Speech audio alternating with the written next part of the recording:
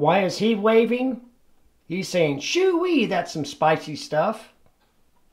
Hey everyone, it's Cashew, and I have another haul from Jungle Jim's. This time, it's the hot and spicy edition.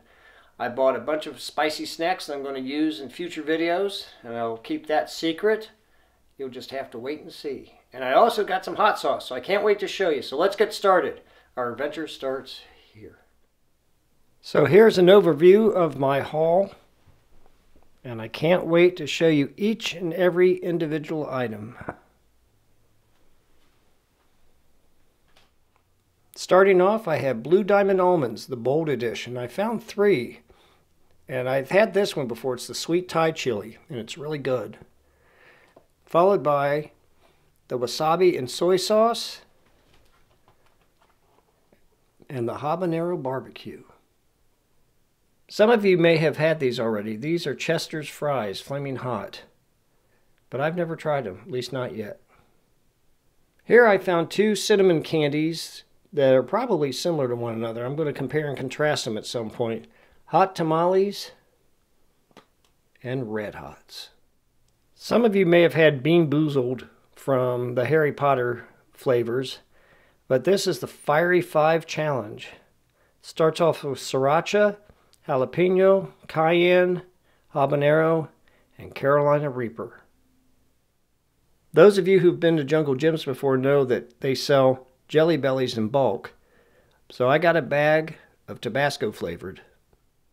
This is Jack Link's beef jerky, and this is in jalapeno flavored. So I have the feeling that's going to have a little bit of spice to it, but not a lot. I found this bag of cheddar crisps that are fire sauce flavored from Taco Bell. So I think that might be an interesting flavor, especially when you combine it with the cheddar crisp. I've never seen these chips before at Kroger. These are artisan style kettle cooked chips, and they're made by the same company that makes Takis. And the one on the right is jalapeno, and the other is Diablo. And by the name, it suggests that it's probably going to be a little hotter because it's made with red hot chili peppers. We'll see. Have any of you ever heard of the Paqui One Chip Challenge? That's where Paqui has created one chip so spicy that a lot of people, most people, can't handle it. Well, they also offer a bag of chips that you can handle. They're in haunted ghost pepper flavor. And this is an offering from Late July Snacks called Bacon Habanero Chips. And I'm anxious to try this because Sometimes when they say they're bacon flavored, I usually don't taste the bacon. So it'll be interesting to see if I can taste both the habanero and the bacon. I'm sure a lot of you have heard of the Kettle brand, and this is their hot jalapeno flavored. It'll be interesting to see, even though it's jalapeno, if it'll be that hot. If you're a pepperhead, jalapenos really aren't that hot. And for the award of coolest packaging, it goes to Kroger of all places for their spicy chili and lime flavored chips. And yes, as you can tell, this I did not get from Jungle Jim's. The jalapeno beef jerky was not the only meat product I bought. I also bought some of these sticks. I have a Duke's Tall Boy Hot and Spicy and Hatch Green Chili flavored. And from what I've been told, Hatch is a town in New Mexico that is best known for their chilies. And they're supposed to be really great chilies at that. And this is a chef's cut jalapeno pork and beef stick. And I've never seen these before. These are Hannah's Red Hot Sausage. One, I guess, is the original Red Hot. And then the one on the right is TNT Red Hot. So I'm presuming the one on the right must be considerably hotter. And these three bags of spicy peanuts come from the same company that make Takis as well. And they're all three red hot chili pepper and lime flavored and I'll be curious to see how they taste differently from one another. Uh, the one in the middle is Fuego flavored, and that's a flavor of Taki, so that'll be interesting to see if it tastes anything like the Takis. And since I've been making references to Takis, I'd be remiss if I did not include them, and so here they are Takis, Fuego and Nitro flavored. The Fuego is hot chili pepper and lime, and the nitro is habanero and lime. So it'll be interesting to see how they compare. And I'm guessing maybe the nitro will be hotter. For some of you, when you think of spicy food, you think of something from Central or South America or Texas or the U.S. in general, but I bet a lot of you don't think of the UK. Well, in England, I know they love a good curry, and this is something from Walker's. And if you recall my vlog from my British snacks, Walker's is a UK brand crisp or chip, and they offer here Thai sweet chili, and on the right, Monster Munch, flaming hot. So it'll be interesting to see how they compare with US brands. I almost walked right past this. This is a Jungle Jim's brand candy bar, 72% dark Belgian chocolate, and it's chipotle chili flavored. And I can't wait to try this. I've never tried a Jungle Jim's candy bar, so it should be fun. And wrapping up my hot and spicy haul from Jungle Jim's are these gummies I found, and I'm really excited to try them. They are jalapeno pepper, habanero pepper, and ghost pepper and they're gummies in the shape of the peppers and the jalapeno is sour apple the habanero is orange and the ghost pepper is cherry flavored so it'll be interesting to see how they combine the fruit and the pepper. Okay now let me go show you the hot sauces I bought. Okay let me show you my haul from Jungle Jim's of hot sauces. I bought 15 I can't believe it. Uh, the first one is uh, Tabasco's raspberry chipotle. And this goes great on ice cream. And I've told several people about it and they didn't believe me and they tried it. And now they use this regularly on their ice cream. Uh, the second that I bought is Howler Monkey, the original. And this appeared on one of the seasons of Hot Ones if you've ever seen it. And this is a very nice sauce. It's very uh, cost effective. It was only $5. It was on sale for $3.69. So if you get a chance, you should try it out. And another hot sauce that I really like, it's the company itself, Bravado Spice Company. And I've had this before. This is ghost pepper and blueberry. And I'm looking forward to trying this out on ice cream as well. But it says it's a very hot sauce, but I didn't find that to be the case. So I'll be uh, curious to see how well this goes on ice cream. And another hot sauce that the company makes is a pineapple habanero and this is only medium level and I think this would go quite nicely on ice cream as well.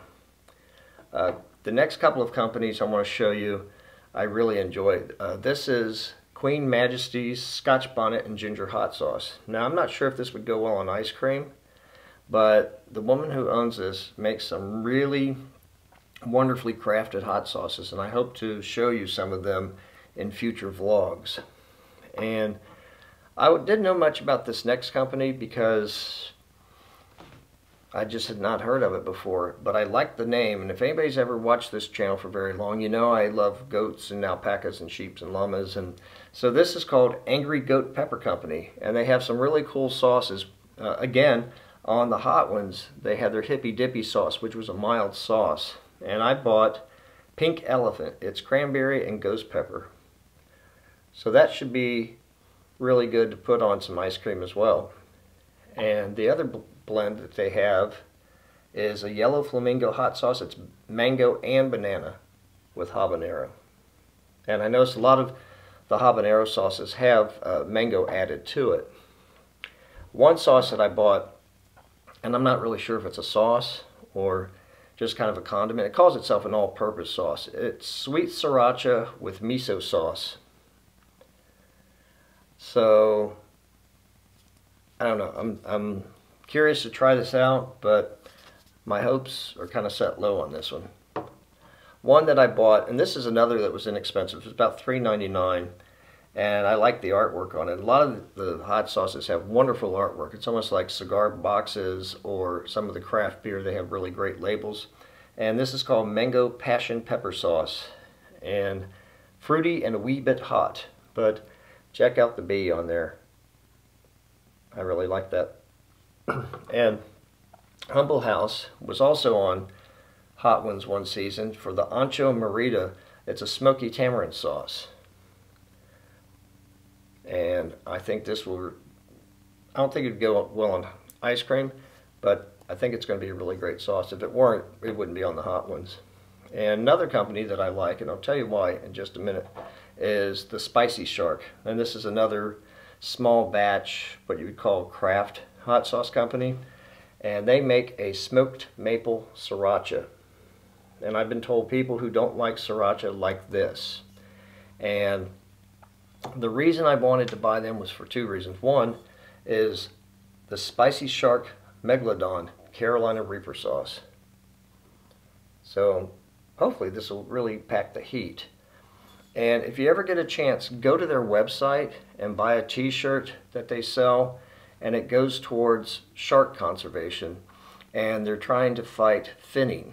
And if you don't know what finning is, it's where fishermen will catch sharks and the cartilage from the fins is worth quite a bit of money. People use it for different things, medicinally or for uh, adding to their food.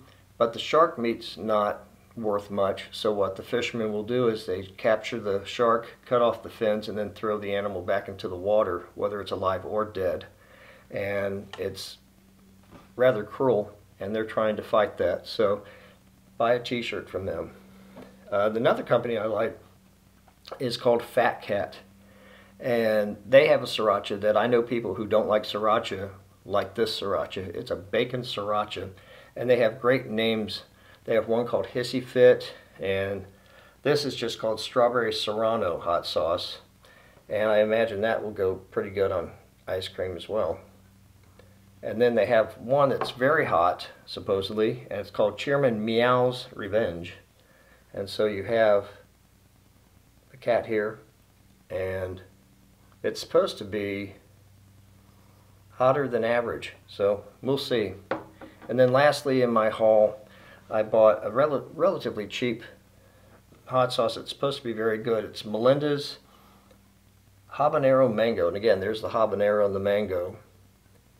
And this was only $2.50. And even though it's habanero, it's supposed to be pretty mild. And I imagine I'll get my money's worth at the very least when I put it on ice cream. So you'll see there's a running theme here of ice cream with hot sauce. Well, there's another haul from Jungle Jim's. And as you can tell, if you're a pepperhead, it's like heaven.